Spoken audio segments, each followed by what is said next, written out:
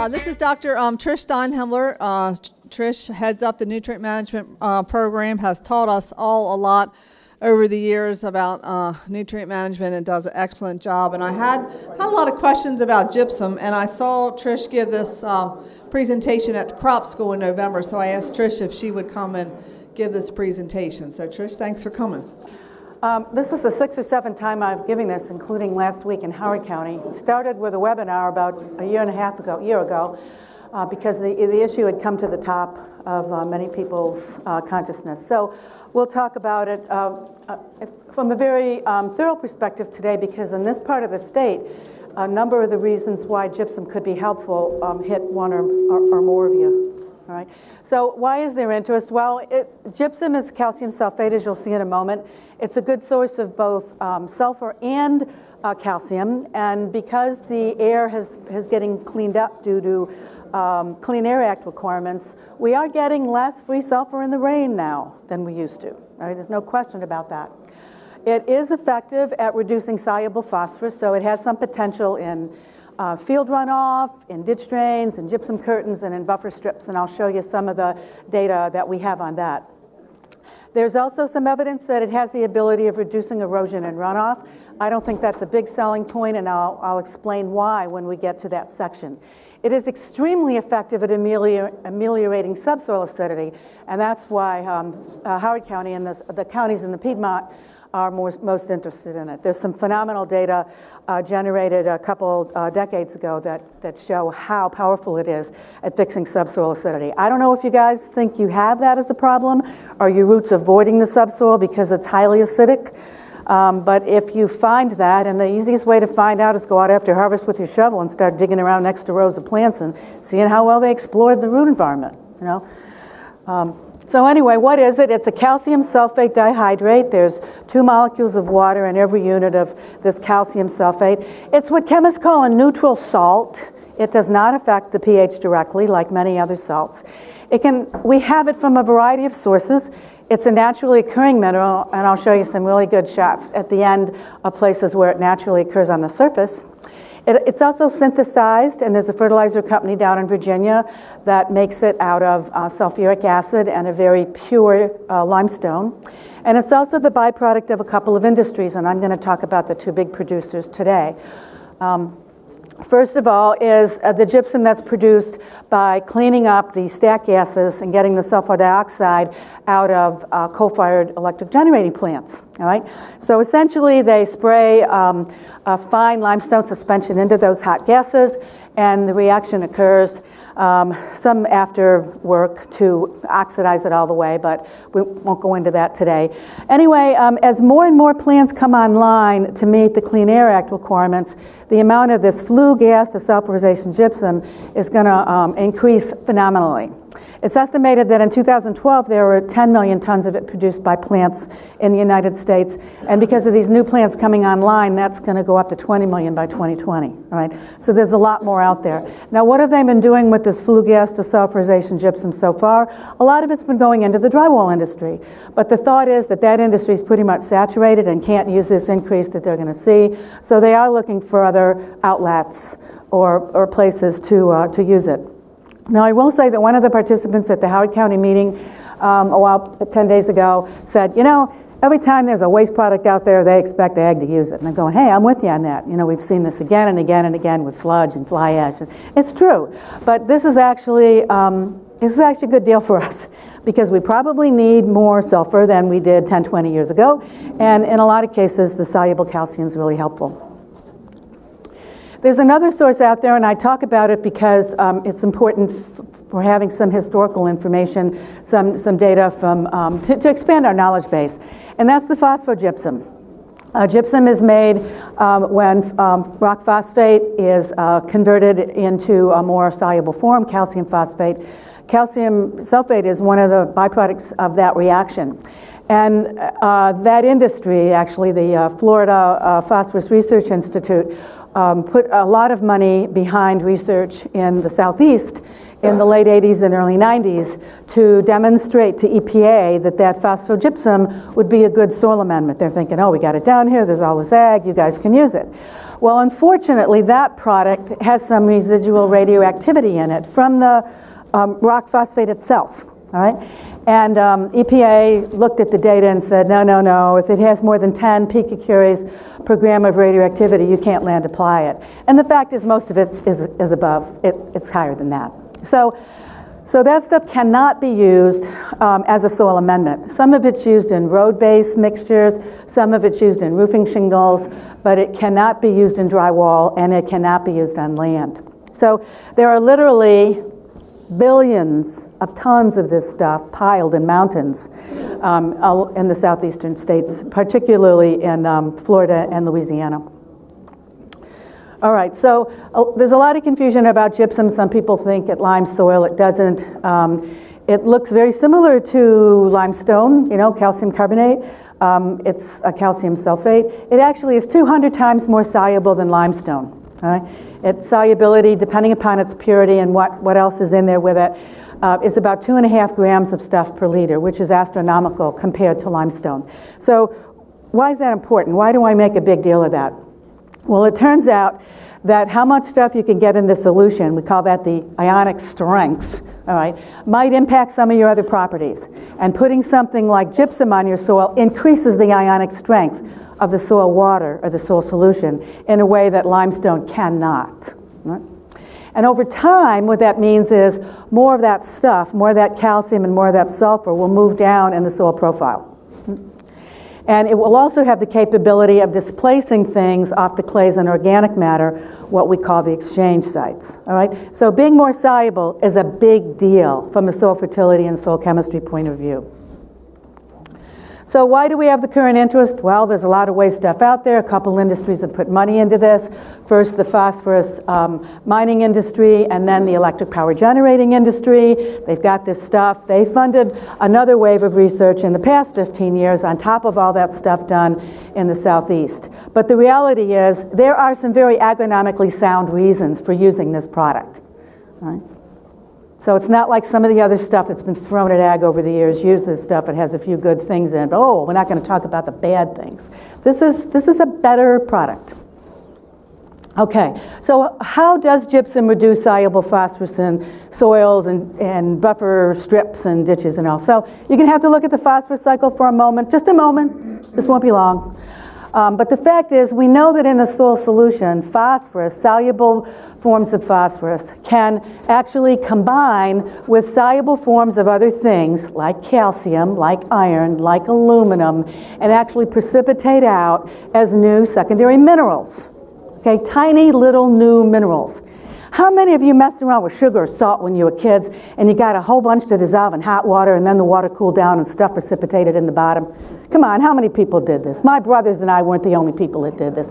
Okay, so you know what I mean. You know, you get stuff dissolved, but something shifts. In this case, it was a temperature dependent solubility, and all of a sudden you've got some new crystals in the bottom. It's, it's mineral formation.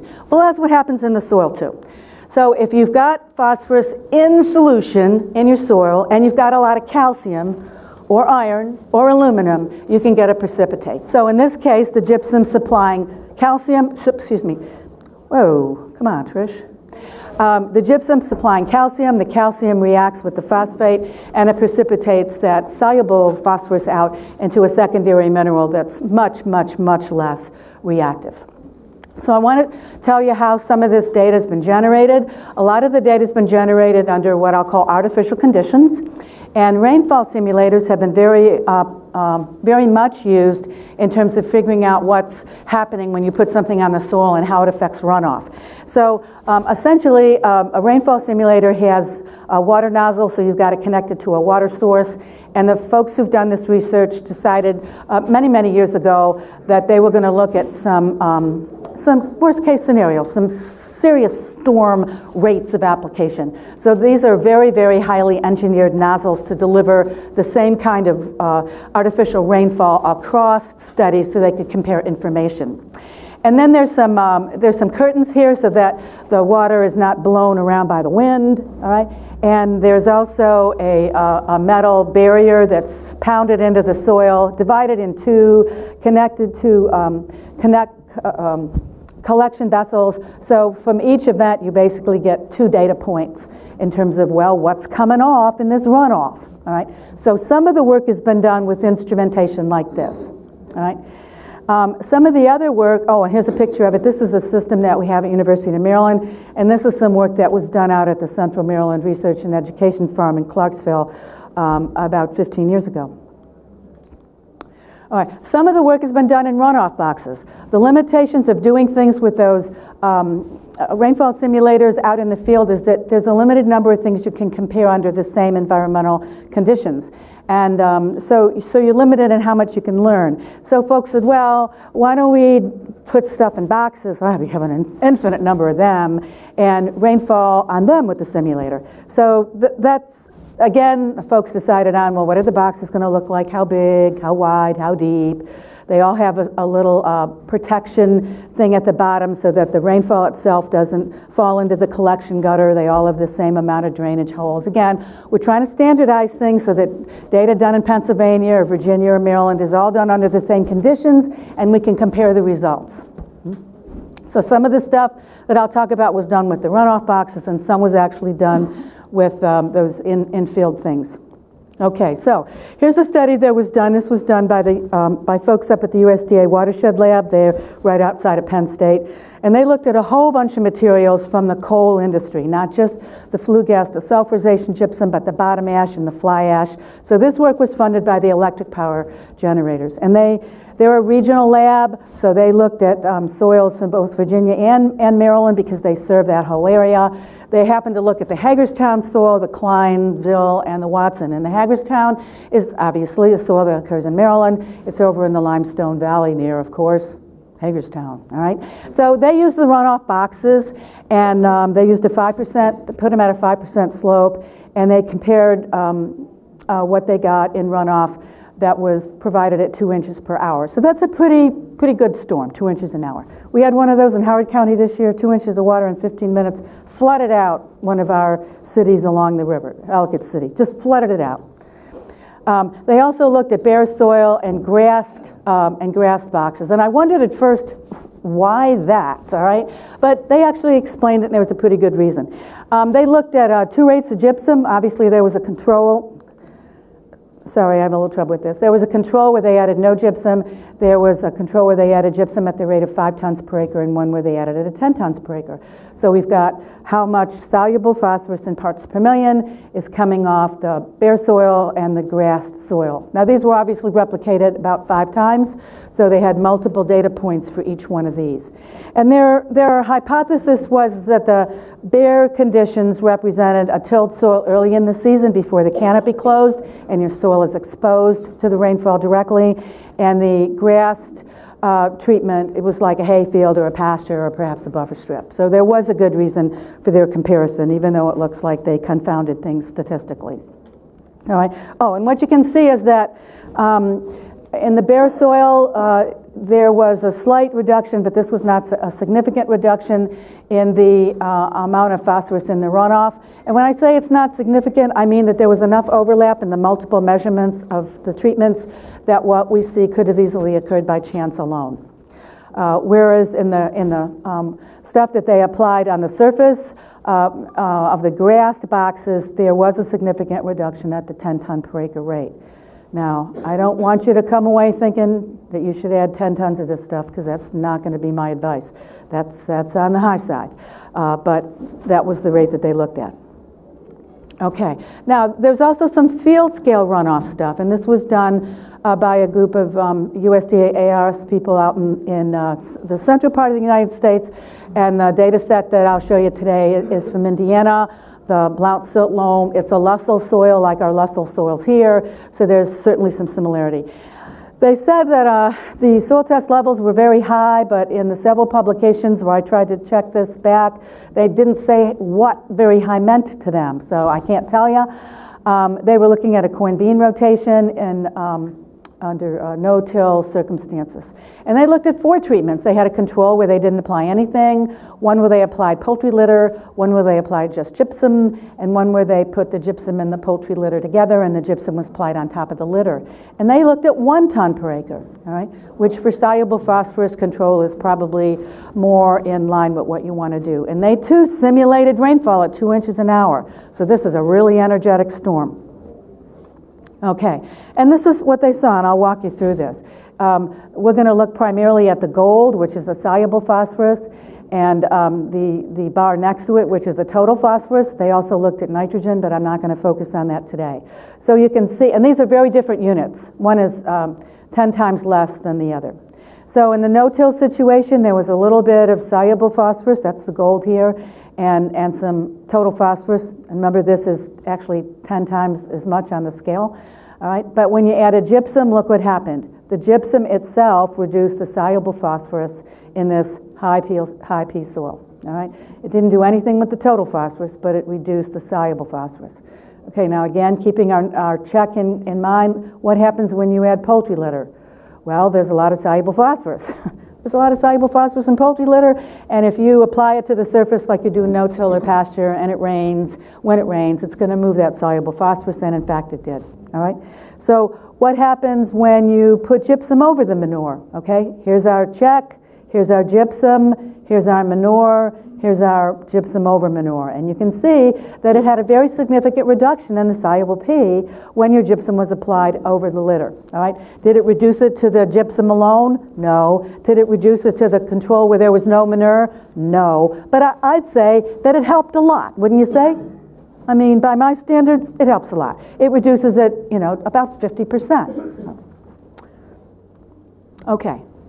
So some uh, folks down in uh, Auburn looked at this, um, and uh, they um, they have a lot of, especially in the part of the state where they did this, they have a lot of cow calf operations on um, Bermuda grass pasture, and they looked at a four ton rate. Now that may seem a little high, but they have a coastal Bermuda, an improved uh, Bermuda down there that can produce up to 10 tons of forage per acre, and um, it's, it's not high by their standards. Hmm?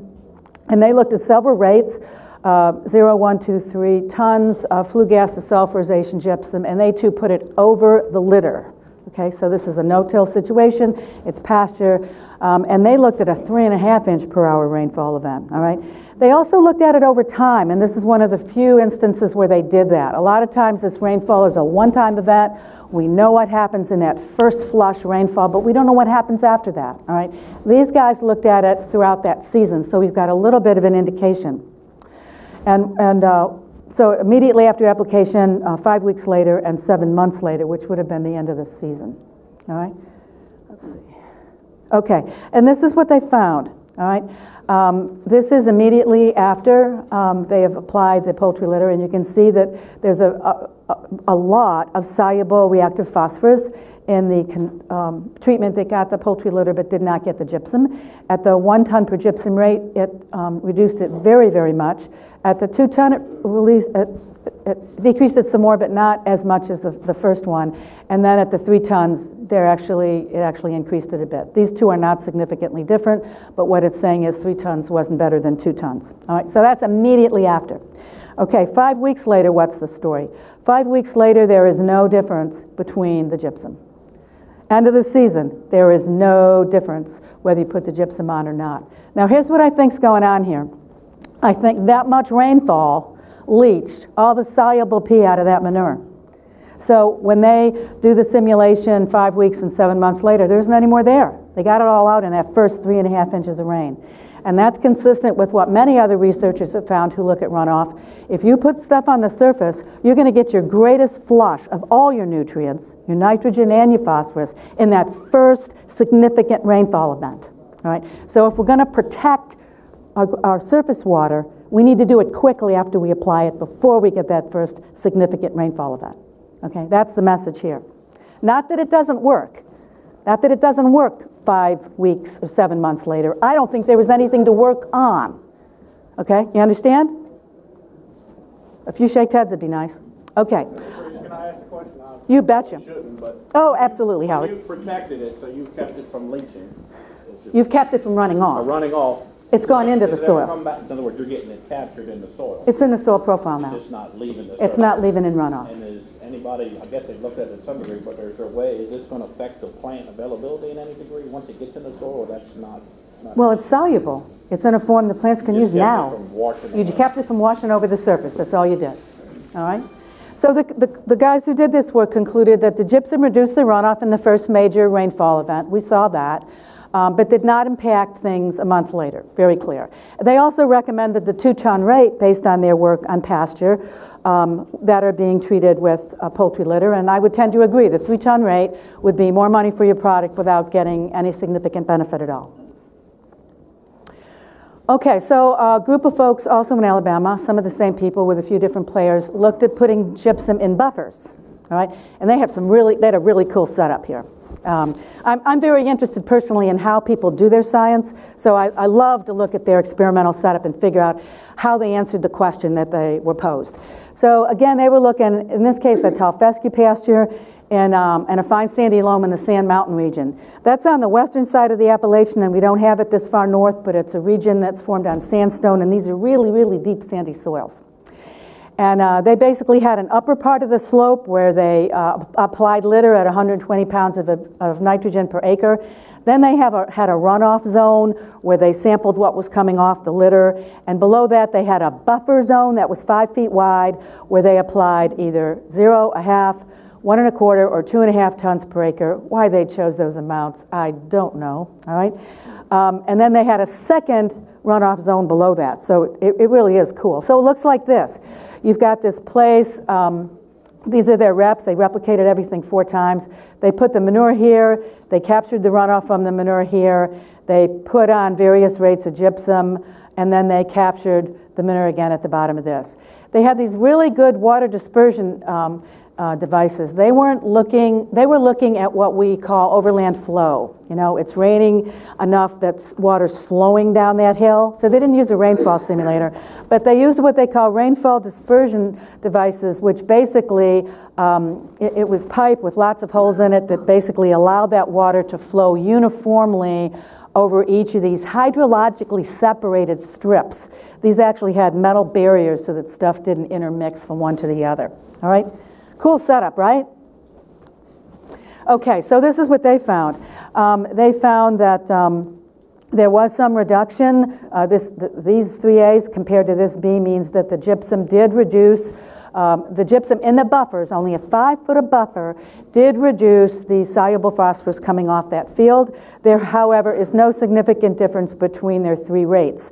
Uh, the numbers here are in metric, but those rates are actually a half, one and a quarter, and two and a half. So yes, gypsum in buffers can uh, reduce the soluble um, phosphorus. Um, it's coming off a hillside and flowing through uh, the buffers. And a five-foot buffer is not a big buffer. So to see effectiveness with that um, relatively thin buffer, I think is, is showing how effective this product can actually be.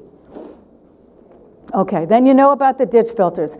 And the, the, the, the, gold standard of ditch filters was done by Bryant and his group down at UMES. I know there's been some other work done upshore with a variety of materials and a variety of kinds of setups, but this is the one where the most data and, and the most comprehensive picture's been drawn for us, all right? So they designed, um, uh, they designed ditches at a ditch at an outlet of a farm, so they kind of captured all the minor ditches in one place as it left the farm.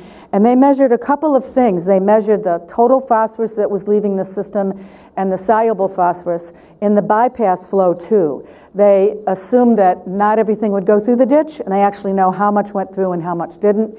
Um, so they looked at what went through the ditch as well as what went over or around the ditch okay? Um, and they sampled um, upstream of the filter and downstream of the filter. So this was, you know, USDA, big grant, lots of money for sampling, lots of money for analysis, lots of money for people. So they assess things two ways. Um, if the water went through the ditch, was it cleaned up? And that would be the chemical efficacy, all right? But they also looked at the system efficacy, you know, of the water getting to the ditch filter, how much was actually treated, all right? So it's a, it's a, it's kind of a sad story. Hmm? Okay, so it kind of looks like this. You've got a ditch, and um, you put some drains in the bottom, and they wanted to sample stuff, so these drains were important for their sampling purposes. And then you put a mixture of gypsum and sand in here. Now you put in sand because some of this gypsum is really fine and you don't want it to pack down. You want it to keep its hydraulic conductivity. So you mix some sand with it so that water flows into it because if it doesn't flow into it, it's not going to get cleaned up. All right, so chemical um, efficacy, how does that work? The same thing we talked about in the phosphorus cycle, the soluble calcium reacts with the soluble phosphorus uh, to form calcium phosphate. So that gypsum dissolves when it gets wet, it releases soluble calcium, there's soluble phosphorus coming down that ditch in the runoff, and those two things react and form those new secondary minerals that we call calcium phosphates. And annually, the chemical effectiveness was between 57 and 90 percent. All right. On a per storm event, it was a negative 11 percent up to 99 percent. All right. So what that's telling us is it, it helps. Um, it, it, helps more in some kinds of storms than other. I would imagine that the storm where it was 99% effective was one where um, the water actually um, got to the ditch at a rate where it could flow through it effectively. Hmm?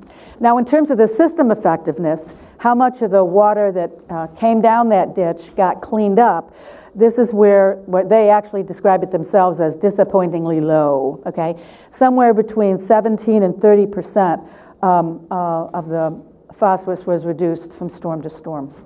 Uh, and the reason was in, in very, very large storms, and we get some of them every year, all right, 93% of the water coming down that ditch bypassed the ditch filter. Right? Didn't have an opportunity to be cleaned up. It bypassed the filter. Right? Okay, so uh, kind of a step two to what they did down there, same group of people. They said, well, okay, um, this ditch stuff's going to be tough. It's going to have to be um, engineered. Uh, it's only going to do part of the job anyway because we're always going to have some big storms and we're always going to have bypass, bypass flow. What about gypsum curtains? Uh, and this is a really cool idea. Essentially, this is a trench next to the ditch and it's designed to intercept the shallow groundwater before it gets to the ditch. So don't wait till it gets to the ditch. Intercept it before. All right? And that trench is filled with a P-sorbing material, and they looked at several materials, but gypsum's the one I'm going to focus on. Um, this eliminates the bypass flow, okay? And the data suggest that they're very effective at reducing soluble phosphorus. As a matter of fact, and this is what it would look like, you've got a ditch, you put a curtain in next to it, they measured the water here. They had monitoring wells here. They had monitoring wells here. They also measured what was in the ditch. The reduction was five parts per million in the groundwater before it got to the curtain and 0.2 parts per million after it went through the curtain. All right? So this works. Okay? This is going to be expensive. this isn't going to last forever. The, the gypsum gonna, is going to dissolve, it's going to clog up. It's not a, a permanent solution, but um, it certainly is effective. Right? Okay, now here's the one a lot of people are focusing on. Uh, can it enhance infiltration and reduce runoff? And I'm going to say sometimes under some circumstances. And here's where we've got to talk about a little bit of soil chemistry, all right? Uh, we're going to talk about things like soil crusting and soil sealing. Soil crusting is when you get a layer of stuff on the top of your soil. It gets kind of hard and it's higher density and it decreases water from going through. Um, and, and for this purpose, we have to talk about ionic strength. Now, I've been talking about ionic strength this winter because some folks in the Southern Shore are concerned about salinity. Well, salinity happens up here. And you, I know you guys don't have salinity here because you're not farming on the bay. But down in Somerset County, they've got some fields that are now saline. That is, they have a high enough ionic strength that they're reducing crop growth.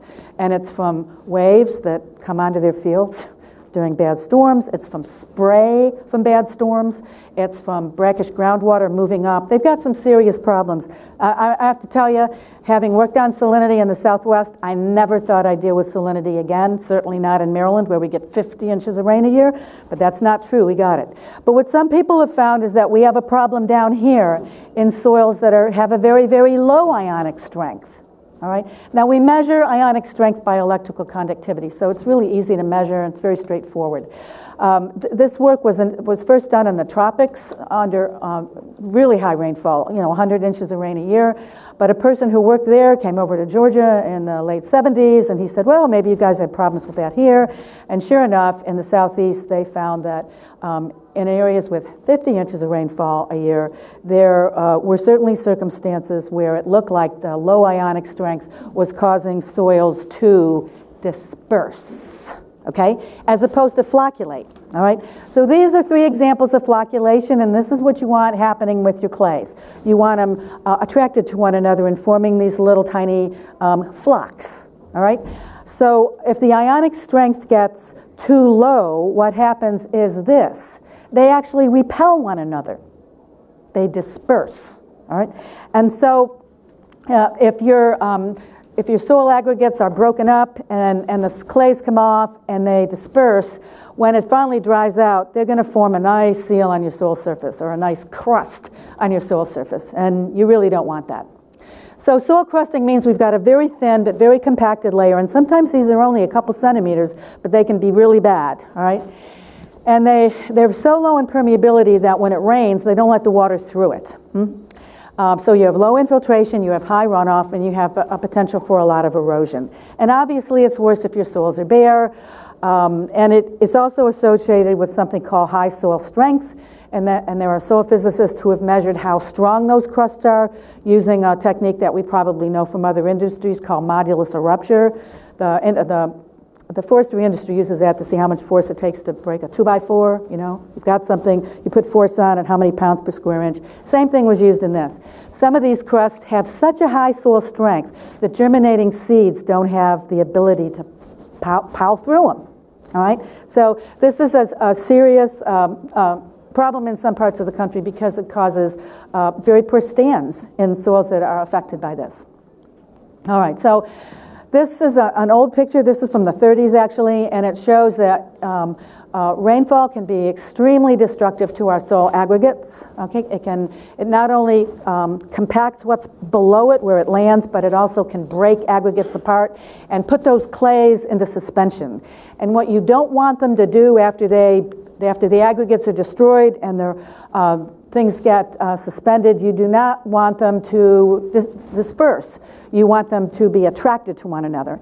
And, uh, and, and in fact, um, in some of these cases, um, some clays are very much, um, have a very high tendency to remain dispersed. So they're, they're not they're not um, flocking, they're filling up the pores, and this happens a lot when your ionic strength or the amount of dissolved material in your soil solution is too low.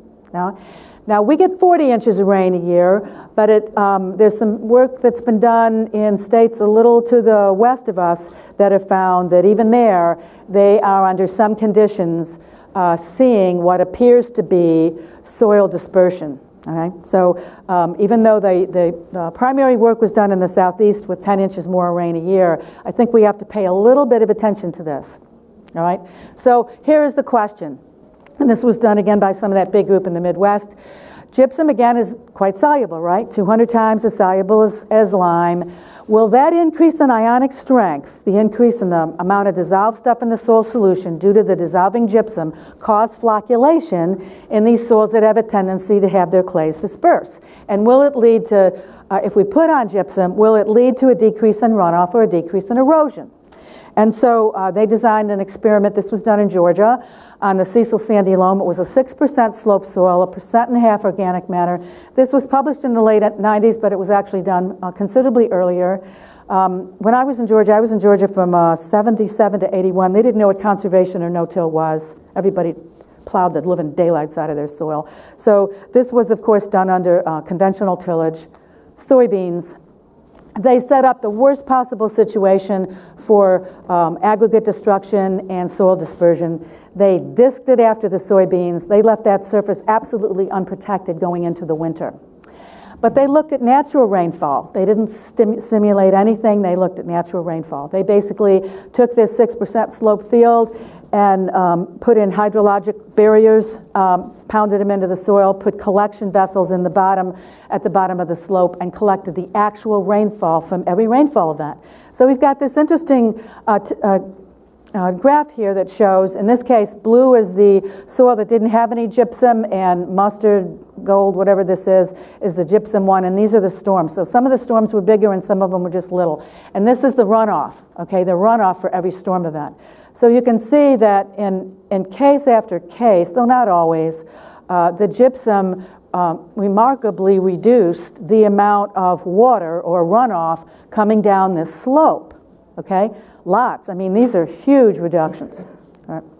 Now, when you look at whether or not it decreased the erosion, the um, effect is not so um, spectacular. But again, um, in many, many storm events, though not all, it tended to reduce the amount of particulate that came in that runoff water.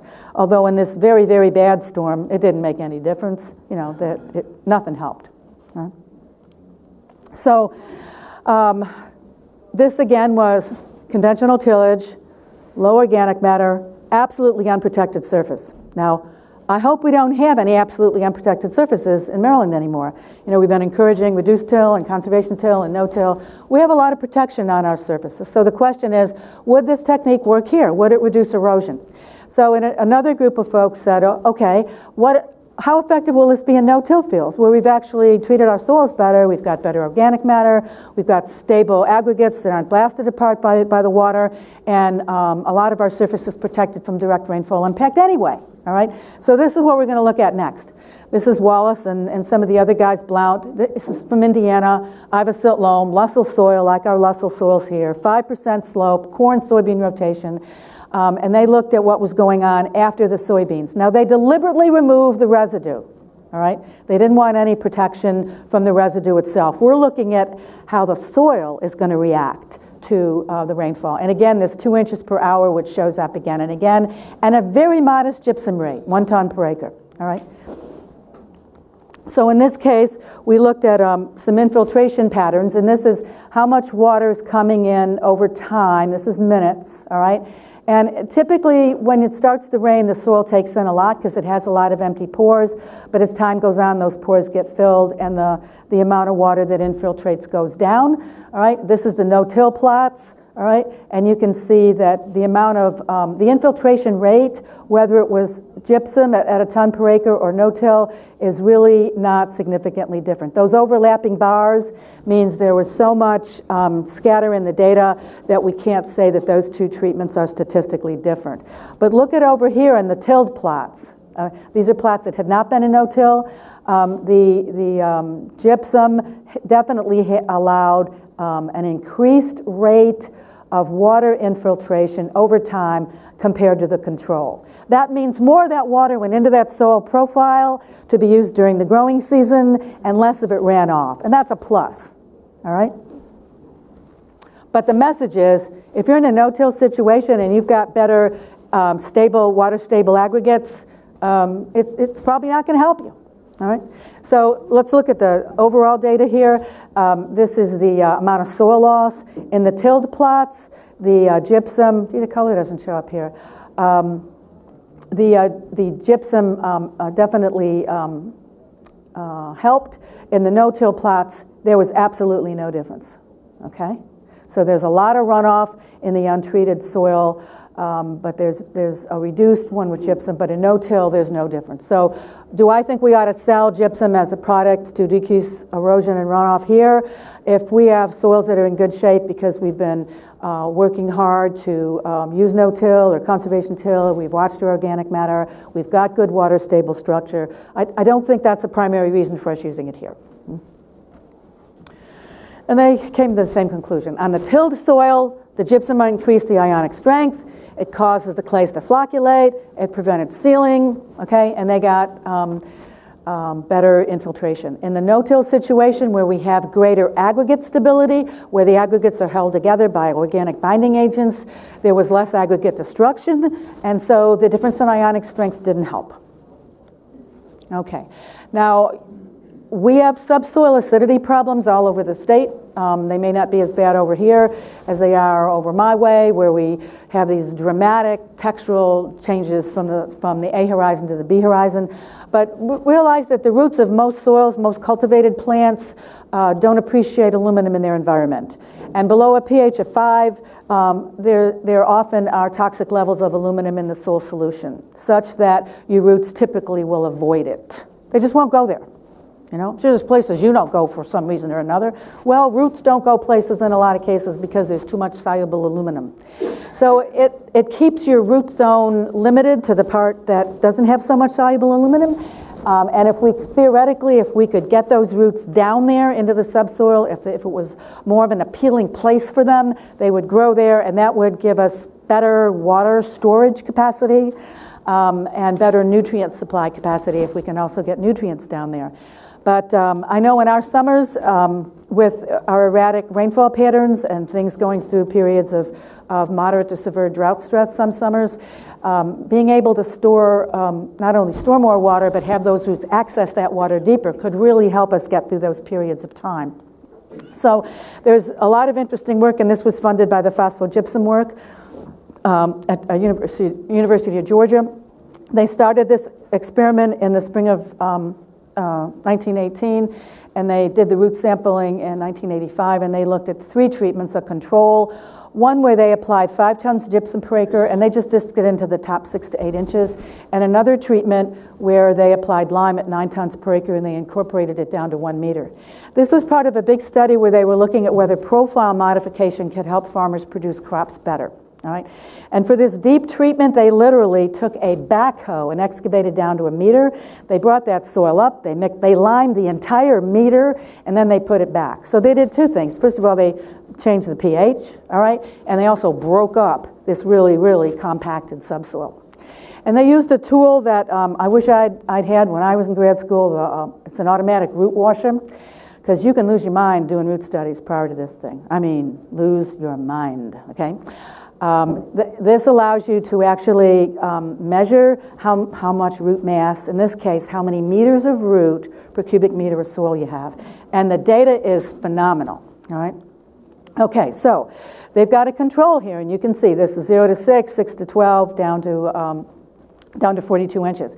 In the control, um, that, that had been, um, wasn't too bad in pH. Most of the roots are there, a few roots here. Boy, you get below here and there's almost nothing. All right. So during the growing season, this is where most of your roots are, and this is where they're going to extract most of the water. All right. You apply the gypsum, and remember, this was put on the surface and disked in. That's all. All right. And look what happens to your root distribution four years later. All right. Yeah, you still have the most here, but you've got a lot going down here to two feet now that you really didn't have over there, and some of them even extract, um, even some of them even go farther. And compared to this lime treatment that no one in their right mind would do anyway, um, the gypsums compares really good. You know, yeah, yeah, sure, excavating down to a meter and liming the whole darn thing. Yeah, that works, of course, all right? But who, who's going to do that? It was just done as a means of comparison in this overall um, subsoil modification experiment. So it's pretty clear that the gypsum um, does move down, and it can move down because there's more of it in the soil solution at any one time. Um, and in fact, as it moves down, and remember they looked at this four years later, this doesn't happen overnight, all right, the roots followed where the subsoil conditions had been fixed, so to speak, or where the subsoil acidity had been ameliorated. All right, so some of the effects we just looked at were, you know, first rainfall event and runoff. Okay, that's a, that's a quickie. This is not a quickie. This takes time. All right. In the webinar I did last spring on this, I, I also showed a, a, a, sister study to this where they actually measured soil strength down to that depth, and in fact, the, um, the treatments that had crops grown after gypsum was applied um, loosened up that soil profile and allowed those roots to, um, those roots to explore. Now, why is gypsum effective? Now, now, this is a term you probably never heard before unless uh, Jimmy Lewis took soil chemistry. You probably know about this, but you may be the only person in the room. All right? There's something called ion pairs, you know, and we think that everything in the soil solution is just out there by itself, you know, but in fact it isn't. There's some associations in the soil solution. Sometimes things combine in, into pairs that remain together in the soil solution. They're called ion pairs.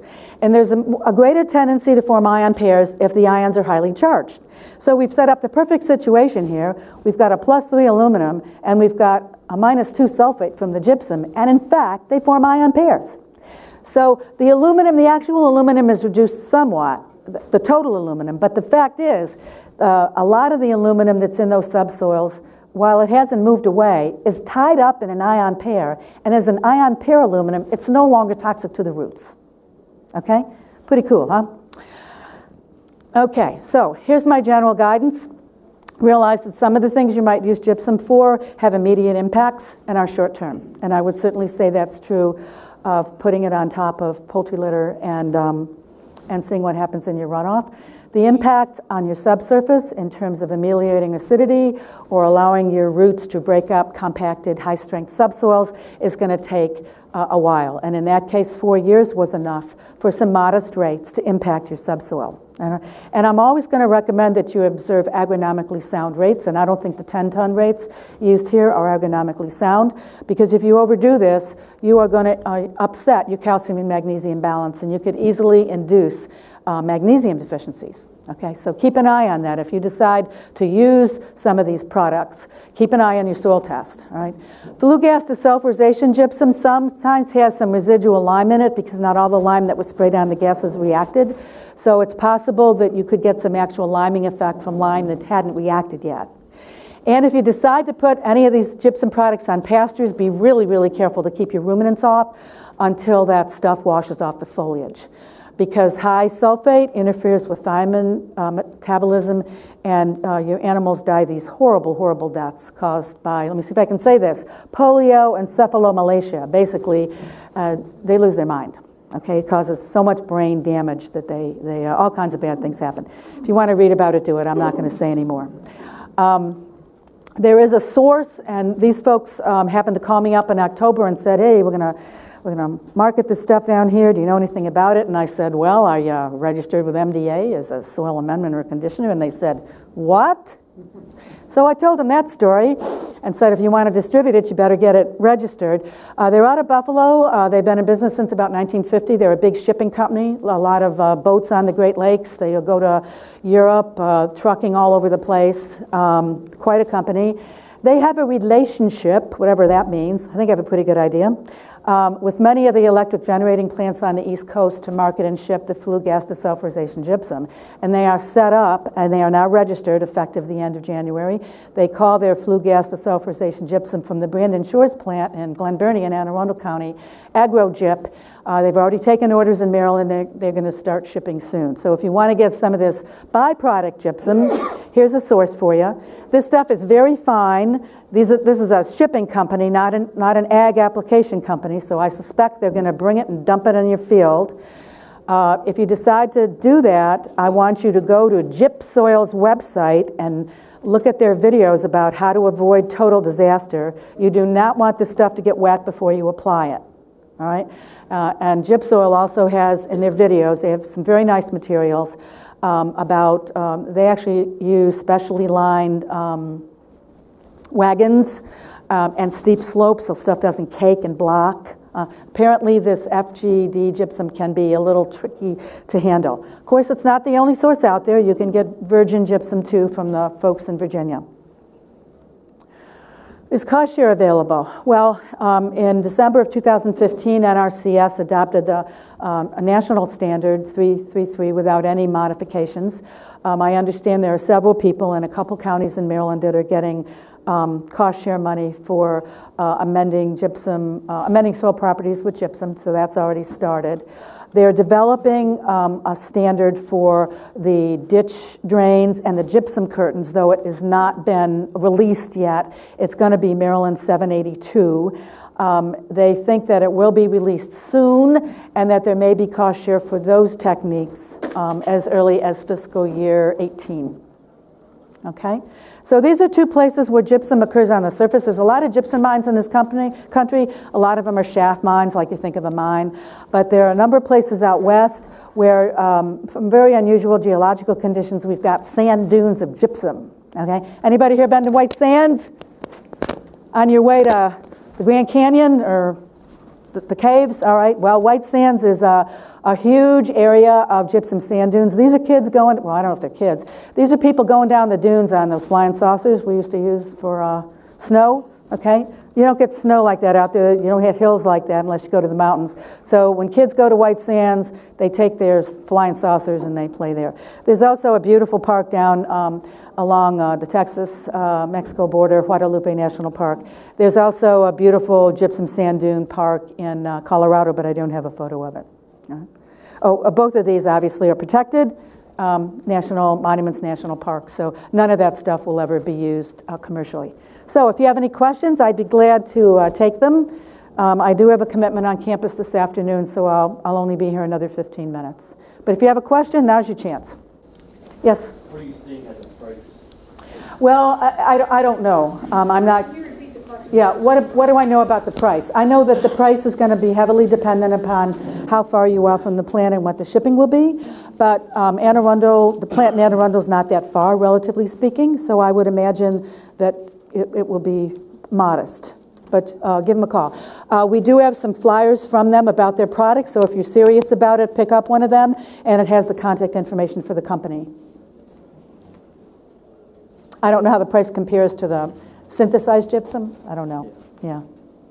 And I think some folks here, I think some of your suppliers here already deal with the synthesized gypsum. Be interesting to see if the, the base stuff is, is cheaper. But I, I don't know. I'm a soil scientist, not an economist, you know. Any other questions? Yes, sir. Is this the same product they were promoting dairy farmers to use in free stalls? bedding? It could be. Can you repeat It the could be. Yeah, is this the same product they were encouraging dairy farmers to use as bedding in freestall barns? I don't know if it was this product or some other gypsum product, I don't know. I hope you understand the dangers of using a product with sulfate in it That was my next. in a, in a system where you have a liquid manure holding thing, all right? We already have problems with toxic sulfur gases, not sulfur S, but all kinds of organic uh, gases that are bad enough from the sulfur in the cow's diet. But when you start adding a, an additional source of sulfur from this, you're asking for trouble, all right? So I'd be very careful doing it, and I'm going to shut up there. Mhm. Yes. mentioned the toxicity sound like it was ruminants only, correct? That's the only thing I've heard about. Well, I don't want a bunch of crazy farmers running around. Are, are you licking the gypsum off the forage? But if you're handling it and you're breathing dust and you're got it on your hands and you put it on your clothes. Okay, let me say everything else. this. Is? This is on Trish talking. If there's dust, wear a mask. When you're done working with it, wash your hands. Well, that Now, now, could we have, a- could we have a problem with thi- thiamine um, interference? I, I, I don't know, anybody, a human biochemist here, a medical person? I, I'd think perhaps, I'd be careful. I wouldn't eat this stuff by the spoonful, okay? Hope They're not gonna eat it. Yeah. Well, no, there are cases, there are a number of cases, we're more aware of it out west where some of the water is high in sulfur. So vets out west with animals on the range, they're used to seeing that disease.